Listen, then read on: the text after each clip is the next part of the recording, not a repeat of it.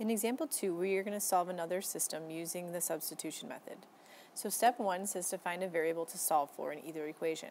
If we take a look at the second equation, you can see that x is already by itself, so we don't have to do step 1.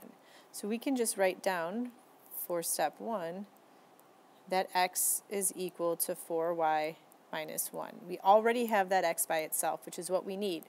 So we can just go ahead and put our box around the 4y minus 1. And then we can move on to step 2.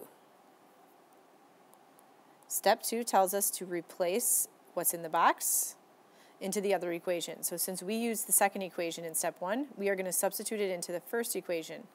So we solved, got x by itself, so the x is the one that we want to put the box around in this equation up here, and that's what we're going to interchange.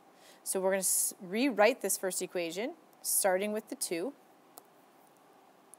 and then right after that I have my box, and I'm going to put in my box what I have in here, which is the 4y minus 1, and then continue on. So after that was a plus sign. After that is my 2y. After that is the equal sign, and then 3.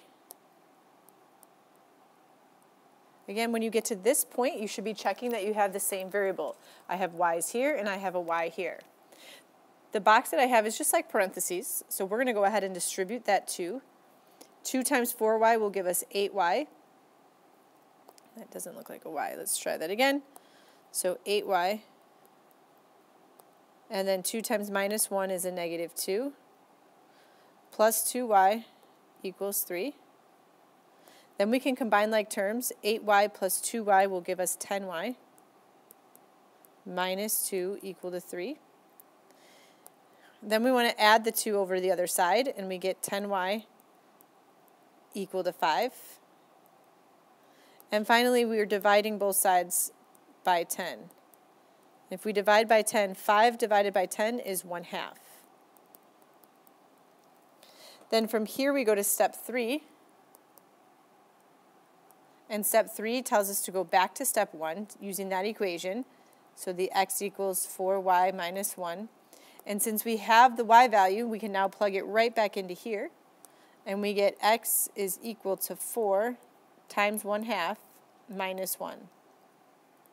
So x equals, if we take 4 times 1 half, we get 2. And then 2 minus 1 will give us 1. So we know x is 1. Then we're going to do the check step real quick. So let's check it. We've got to check it into both equations, the top and the bottom. We'll start with the top. We have 2 times the x value that we just found, and x we found to be 1. So 2 times 1 plus 2 times the y value, which is a half, and that's equal to 3. So we have 2 times 1, which is 2, plus 1, which is 3. So we do get 3 is equal to 3. And again, if you can't do that in your head, you can plug it into your calculator. Then we need to check the bottom equation. We have x, which is 1, equal to 4 times our y value of 1 half minus 1. 4 times a half is 2, and 2 minus 1 is 1. So it works for the bottom one as well. So we can say that our answer is as an ordered pair, x goes first, so 1 comma 1 half. Or we can write it as x equals 1 and y equals 1 half. If you have questions, let me know. Otherwise, go ahead and pause it and do the try this and unpause it when you're ready to check your answer. If you did the try this correctly, you should get an answer that x is equal to 6 and y is equal to negative 1, or you could have written it as the ordered pair 6 comma negative 1. If you have questions, let me know.